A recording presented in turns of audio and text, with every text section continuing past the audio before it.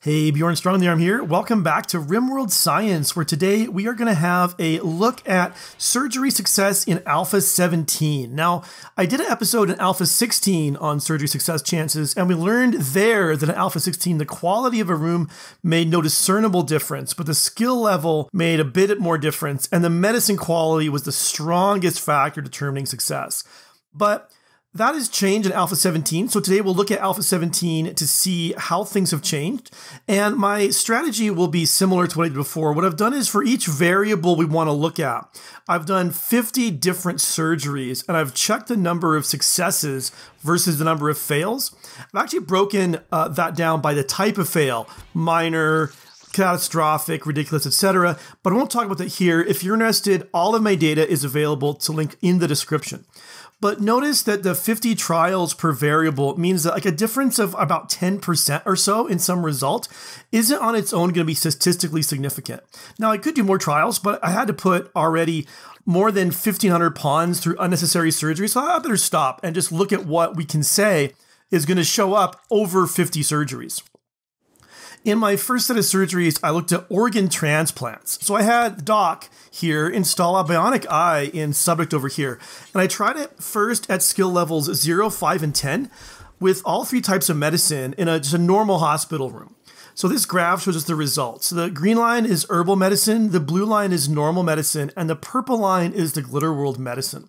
So though at level zero, the Glitter World medicine starts out a little bit better than the other two, at level five, that's reversed. And surprisingly, herbal medicine beats out normal medicine, you know, throughout the whole thing. But those differences aren't really significant. They're so close together. What is clear is that overall, the choice of medicine didn't make any noticeable difference the chance of success. But the skill level, as you can see, clearly did. At zero skill, the chance of success hovers right around 50%. At level five, it's around 80%. And at level 10, the surgeons just never failed. And for each one of these, this is a little bit better than the medical surgery success chance found the stats, which would put level 10 at 93% instead of 100, level 5 at about 70% instead of around 80, and level 0 at a measly 20%. So next I looked at the medical facilities themselves. So using normal medicine as a control, I tried again at levels 0, 5, and 10 with a room that had a vitals monitor, a medical bed, or both. So here are the results again on a graph. The blue line shows the control, where the room doesn't have any fancy equipment at all. The red line is the vitals monitor only, and the orange line represents both the medical bed only and the medical bed plus the vitals monitor because those two trials had the exact same results. So, though the vitals monitor did a little bit better on both trials with the bed, a little bit worse our control, they're all within that margin of error and suggest that there really isn't a difference significant enough uh, to show up over 50 surgeries between having the quality medical supplies and not. And the last trial here checked the filthiness and the lighting. Our control was a clean lit room with a level 5 doctor and normal medicine. The other cases had level 5 doctors with normal medicine, but one was in a filthy lightened room, one was in a dark and clean room, and one is in a dark and filthy room. So here we found that the dark clean trial had a 76% success rate compared to the 82% success rate of the control, but the dark filthy room had a 40% success rate, and the filthy light room had only a 56% success rate. So the light may have made a small difference, but the sample size is just too small to be sure. But the filth definitely did make a difference. Now, one final comment before we go on. In Alpha 16, my trials, a significant number of the patients would have died by this point in the episode, but in Alpha 17, not a single one did. There were plenty of failures, but every single failure survived. So, organ transplants, whatever else is going on, seem to have a much smaller risk of death in Alpha 17 than they did in Alpha 16. All right, so that's for transplants. But in RimWorld, excising a carcinoma is a significantly more difficult thing to do. So I gave poor patient here a brain tumor and gave Doc the job of cutting it out. Now, the minimum skill level to excise carcinoma in RimWorld is 10, and herbal medicine can't be used. So I tried this with doctors at levels 10, 15, and 20 respectively, using herbal medicine or glitter world medicine. So the results are in this graph here, where blue is normal medicine and red is glitter world. You can see that neither the skill level nor the medicine type made a very powerful difference to success. The success rates hovered between the low 70s and the low 80s no matter what. Now, some of this might have to do with the way surgery success chance scales with level. At very low skill levels, each time you level up, you get a big jump to your surgery success chance. But the better you get, the smaller the boost each level gets you. So it might be that the 6% boost in surgery success chance between level 10 and level 20 is just too small to make any noticeable difference in a mere 50 carcinoma excisings. So there's another issue here too. Unlike with the transplants, with carcinoma, there were more deaths that ended in failure. So the graph here shows the percentage of fails that ended in deaths.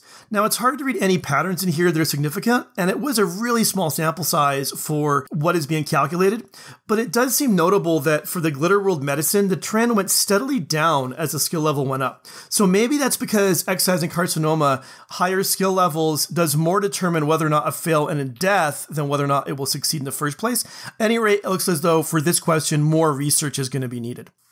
I also tried excising carcinoma in a room with a medical bed and a vitals monitor with normal medicine and a level 10 doctor. That had a 60% success rate, a good 20% below our control. So that either means that the vitals monitor or medical bed are making things worse, or at least this is a big margin of error and they aren't making it any better at a minimum. I also tested the effect of lighting and dirt here as well, again with the control of level 10 doctors in normal medicine. So the filthy and filthy dark trials had 42 and 44% success rates, respectively, while the dark and clean room did only slightly better than the control at an 84% success rate.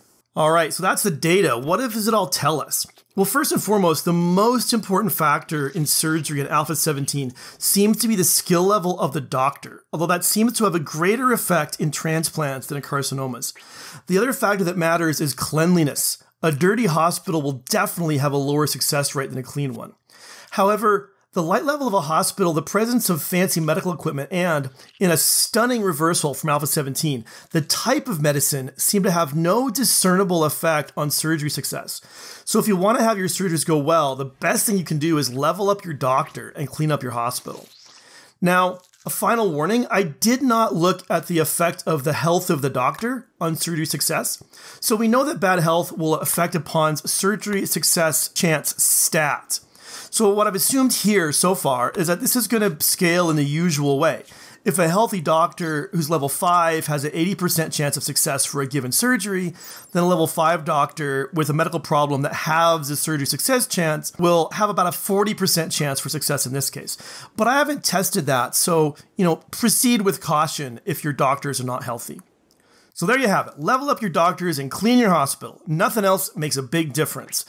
Let me know in the comments what you'd like to see us do RimWorld Science on next. And as always, thank you so much for watching. I'll see you soon.